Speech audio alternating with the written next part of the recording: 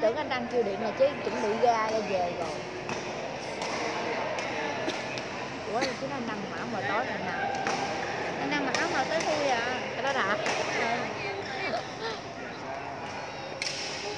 Hay là giải thi đấu hay là đánh chơi? Đi cầm giờ luôn hả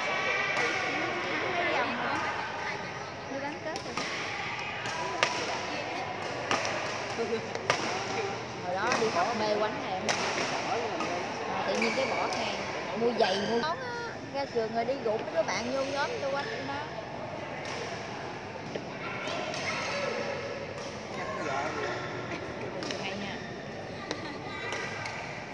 Thôi nha. Nếu ủa nhà còn đồ ăn hết không chế hồi xưa đây chứ đó bộ giờ về đây một hồi chắc mua gì về ăn chứ mà mình bị tìm.